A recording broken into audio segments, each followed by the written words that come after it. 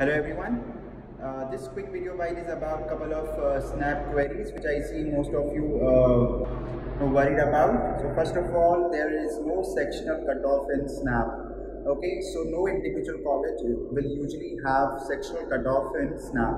Okay, now the only thing is, you know, with the new pattern, there might be a possibility that SIBM Pune may introduce a sectional cutoff. However, there is a very very rare case of it in case it introduces it will be a very very less uh, quantum of sectional cutoff.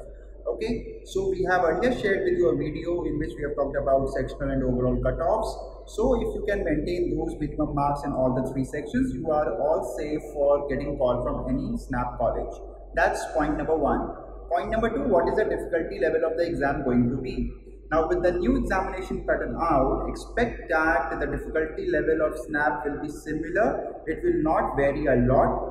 Uh, they have removed GK section so that more and more students can feel comfortable with the examination pattern and uh, more applications come up. Okay, so removal of GK section, exam going online and the new marking scheme for all the different sections is not going to impact the difficulty level. SNAP will continue with its traditional difficulty level where LR is the most uh, difficult section followed by maths and verbal is the easiest section.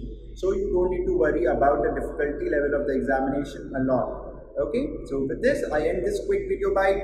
Thank you everyone for watching and all the best for SNAP examination.